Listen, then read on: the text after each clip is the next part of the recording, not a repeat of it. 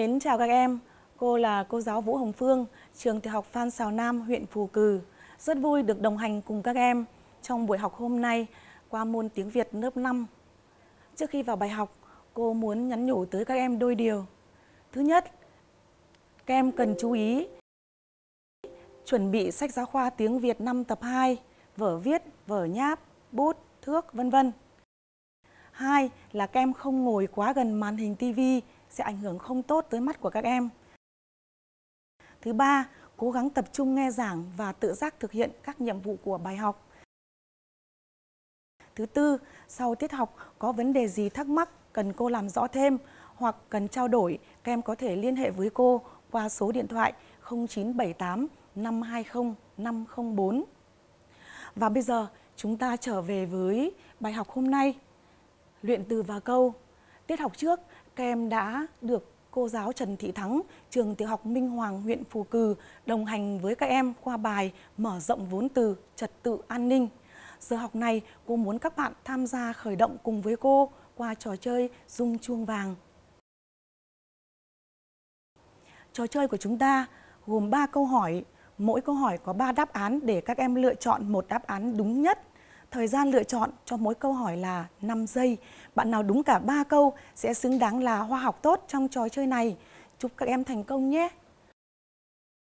Bây giờ chúng mình cùng tham gia trò chơi. Câu 1. Từ an ninh có nghĩa là gì? A. Không có chiến tranh và thiên tai. B. Yên ổn hẳn, tránh được tai nạn, tránh được thiệt hại. C. Yên ổn về chính trị và trật tự xã hội. 5 giây cho các em suy nghĩ, bắt đầu.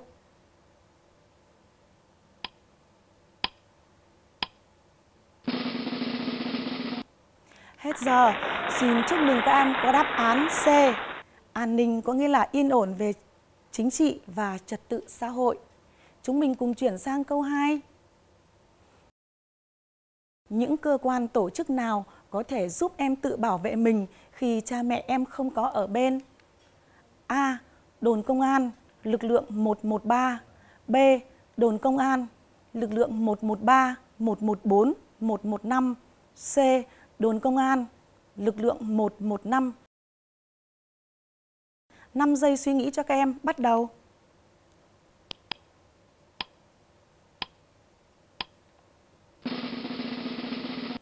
Hết giờ, cô xin được chúc mừng các bạn có đáp án B. Đồn công an, lực lượng 113, 114, 115 chính là các cơ quan tổ chức có thể giúp các em tự bảo vệ mình khi cha mẹ các em không có ở bên. Và ngoài ra, các cửa hàng, cửa hiệu, cơ quan như xí nghiệp, nhà máy hoặc là trường học cũng là các cơ quan tổ chức có thể bảo vệ các em khi các em không có cha mẹ ở bên. Chúng ta sang câu 3.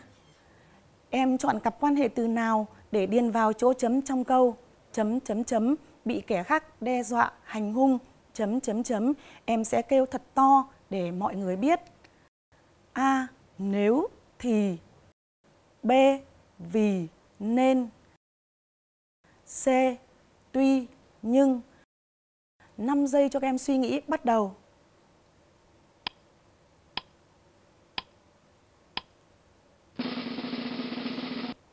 Hết giờ và cô xin chúc mừng các bạn có đáp án A. Nếu thì và câu đúng của chúng ta là nếu bị kẻ khác đe dọa, hành hung thì em sẽ kêu thật to để mọi người được biết. Tuy nhiên, cũng có những trường hợp nếu kêu to mà bất lợi cho các em thì các em hãy bình tĩnh lựa chọn phương án khác an toàn hơn nhé. Chúng ta đã hoàn thành phần khởi động với ba câu hỏi Bây giờ các em hãy nhìn lại đáp án của mình xem mình đúng được mấy câu nào. Cô chúc mừng các bạn đúng cả ba câu và các em xứng đáng là hoa học tốt trong trò chơi này. Bây giờ cô giáo mời các bạn đứng dậy cùng với các bạn nhỏ trong video chúng ta thực hiện hát và múa theo lời bài hát Em đi qua ngã tư đường phố của nhạc sĩ Hoàng Văn Yến. Nào, cô mời các em.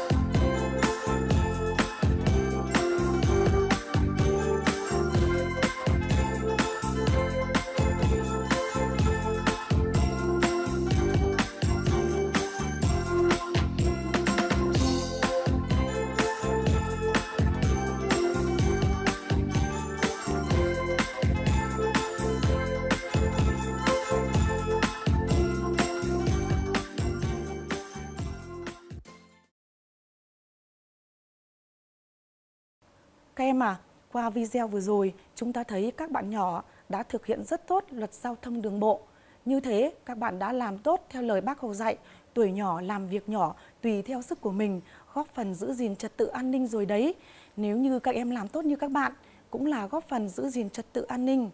Hay ngay trong lúc này, chúng ta không nên ra ngoài, không nên tham gia giao thông khi không thật sự cần thiết, hoặc là chúng ta thực hiện việc à, hạn chế tiếp xúc xã hội là góp phần cùng với cả nước đẩy lùi dịch bệnh COVID-19, góp phần giữ gìn trật tự an toàn xã hội đấy. Cô mong rằng các em sẽ thực hiện tốt những lời khuyến cáo của Bộ Y tế để chúng ta an toàn trong mùa dịch. Và bây giờ chúng ta cùng trở về bài học ngày hôm nay. Bài học của chúng ta là nối các vế câu ghép bằng cặp từ hô ứng. Cô giáo mời các bạn mở vở và ghi tên bài.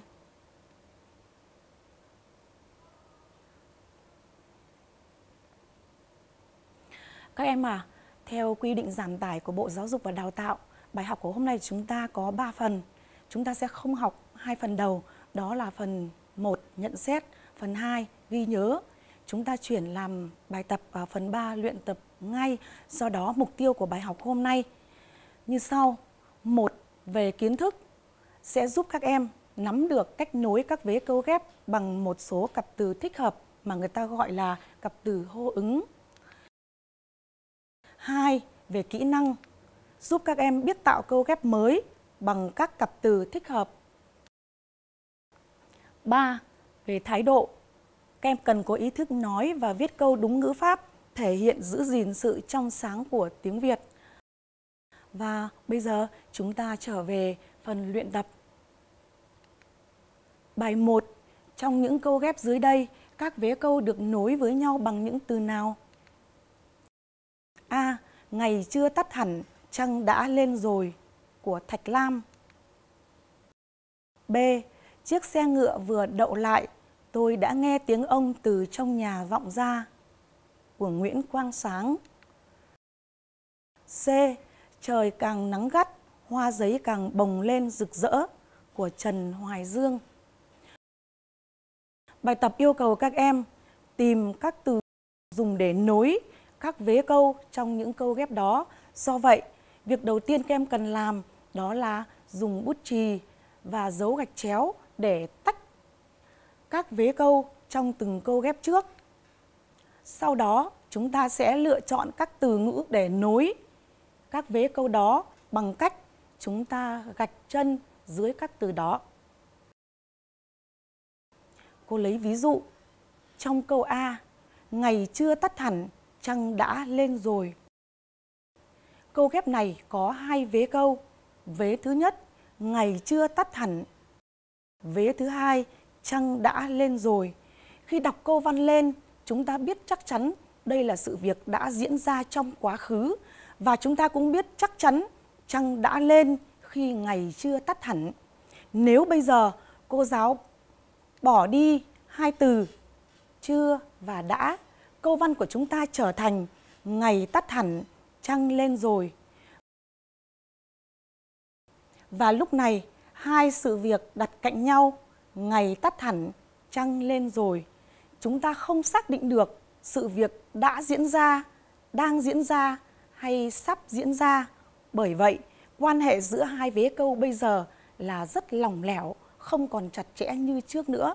Do đó, hai từ chưa, đã dùng để nối hai vế câu ghép này có tác dụng làm cho quan hệ giữa hai vế câu chặt chẽ hơn lên rất nhiều. Các em chú ý, vế câu thứ nhất, ngày chưa tắt hẳn. Vế câu thứ hai, trăng đã lên rồi. Trong vế câu thứ nhất, chủ ngữ là ngày, vị ngữ là chưa tắt hẳn. Trong vế câu thứ hai, chủ ngữ là trăng, vị ngữ là đã lên rồi. Cặp từ chưa, đã nằm trong bộ phận vị ngữ của câu nó không phải là quan hệ từ các em nhận thấy rằng nó khác biệt hoàn toàn với các cặp quan hệ từ mà các em đã học cô lấy ví dụ trong câu nếu trời mưa thì tôi sẽ đi bắt cá rô. Trong câu ghép này có hai vế câu. Vế thứ nhất, nếu trời mưa. Vế thứ hai thì tôi sẽ đi bắt cá rô. Cặp từ nếu thì nằm tách biệt hoàn toàn, không ở trong bộ phận chủ ngữ hay vị ngữ của mỗi vế câu.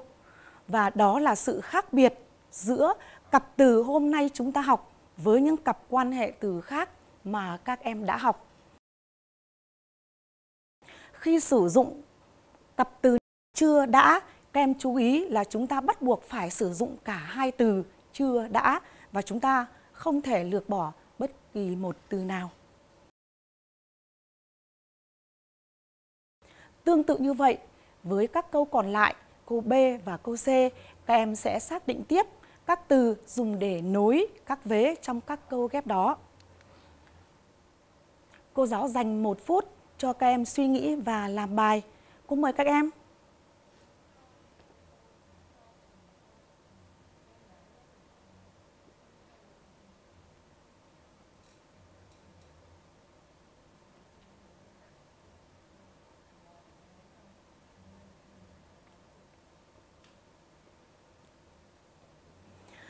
Cô cảm ơn các em. Chắc chắn là các em đã làm xong rồi đúng không nào? Và bây giờ chúng ta cùng trở về để phân tích từng câu nhé. Trong câu B, chiếc xe ngựa vừa đậu lại, tôi đã nghe tiếng ông từ trong nhà vọng ra. Câu này có hai vế câu. Vế thứ nhất, chiếc xe ngựa vừa đậu lại. Vế thứ hai, tôi đã nghe tiếng ông từ trong nhà vọng ra. Và trong câu ghép này, cặp từ vừa, đã đã có tác dụng nối hai vế câu ghép. Với câu C, trời càng nắng gắt, hoa giấy càng bồng lên rực rỡ. Câu này có hai vế câu. Vế thứ nhất, trời càng nắng gắt. Vế thứ hai, hoa giấy càng bồng lên rực rỡ. Trong câu ghép này, cặp từ càng càng dùng để nối hai vế của câu ghép. Cô xin chúc mừng tất cả các bạn đã có đáp án đúng. Như vậy, qua bài tập 1, các em thấy là chúng ta đã được biết thêm một số cặp từ dùng để nối các vế câu ghép như chưa, đã, vừa, đã, càng, càng. Và trong thực tế còn nhiều các cặp từ khác nữa tương tự như vậy. Các em đã nghĩ ra chưa? Nào, bây giờ chúng mình vừa suy nghĩ, vừa trải nghiệm qua bài tập số 2 nhé. Bài tập 2. Tìm các cặp từ thích hợp với mỗi chỗ trống. Câu A. Mưa chấm chấm to, gió chấm chấm chấm thổi mạnh. B. Trời chấm chấm chấm hừng sáng, nông dân chấm chấm chấm ra đồng. C. Thủy tinh dâng nước cao chấm chấm chấm sơn tinh làm núi cao lên, chấm chấm chấm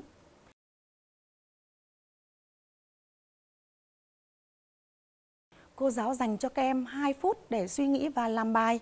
Cô mời các em.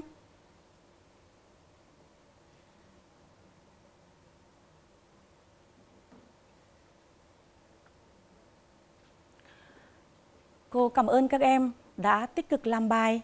Và bây giờ chúng mình cùng trở lại phân tích từng câu nhé. Câu A. Xin chúc mừng các bạn có đáp án là mưa càng to, gió càng thổi mạnh.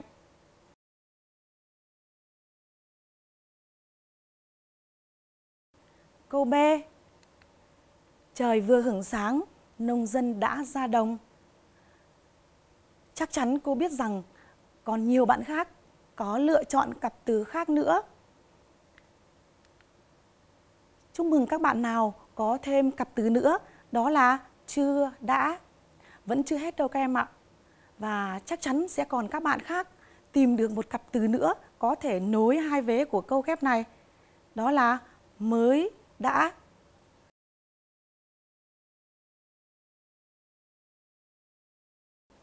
Chúng ta cùng sang câu C. Thủy tinh dâng nước cao bao nhiêu, sơn tinh làm núi cao lên bấy nhiêu. Xin chúc mừng các em đã hoàn thành bài tập số 2.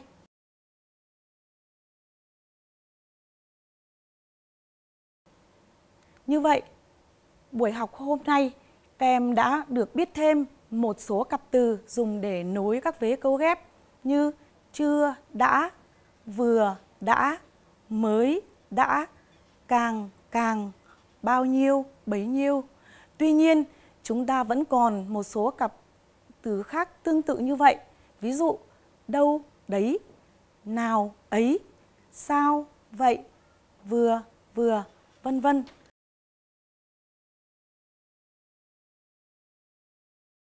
Ví dụ trong câu Chúng tôi đi đến đâu, dừng chuyển động rào rào đến đấy của Nguyễn Phan Hách.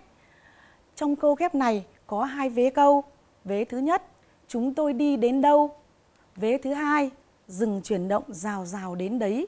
Trong câu ghép này, cặp từ đâu, đấy đã nối hai vế của câu ghép, tạo lên sự quan hệ chặt chẽ giữa hai vế câu. Các em à, đây là bài học à, cuối cùng về nội dung nối các vế câu ghép. Hy vọng rằng các em vẫn nhớ đến hai cách à, nối các vế câu ghép. Cách thứ nhất là nối bằng từ có tác dụng nối. Cách thứ hai là chúng ta nối trực tiếp. Trong cách nối bằng từ có tác dụng nối, chúng ta có 3 trường hợp. Trường hợp thứ nhất là nối bằng quan hệ từ. Ví dụ như là và, rồi, thì, nhưng, hay, hoặc, vân vân.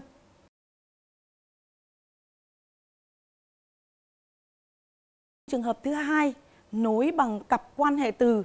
Ví dụ, vì, nên, nếu, thì, tuy, nhưng, không những, mà.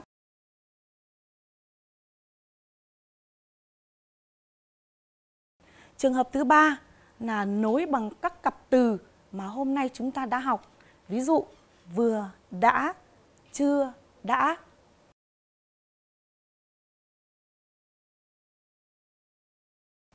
Với cách nối thứ hai, tức là nối trực tiếp, chúng ta không dùng từ ngữ, thì các em lưu ý là giữa hai vế câu phải có dấu câu như dấu phẩy hoặc dấu chấm phẩy hoặc dấu hai chấm.